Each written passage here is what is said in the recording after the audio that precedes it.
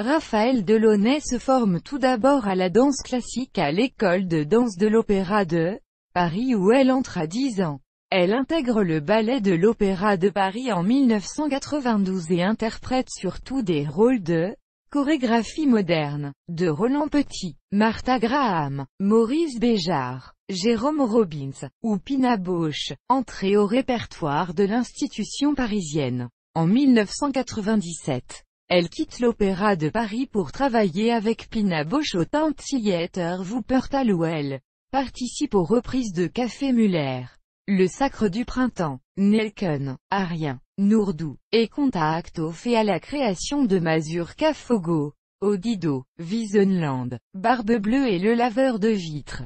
En 2000, elle intègre le Netherlands dans Theater et écrit ses premières chorégraphies lors de séances de Travail. En 2002, elle participe à la création d'une grande pièce d'Alain Platel, Wolf, au sein des ballets et de la baie. En 2003, elle se fait remarquer avec une première chorégraphie importante. Jeu d'intention. Un trio dansé avec Grégory Sonigo et Serge Aimé Koulibaly.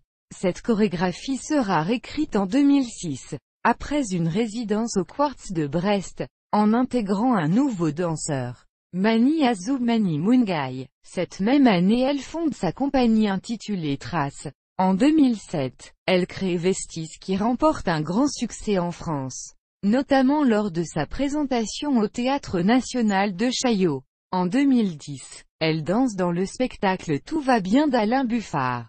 En 2013, elle interprétait un solo autobiographique debout. Guillemets double. Parallèlement, elle travaille avec deux hip-hoppers. Foued Kadide Babson Babassi.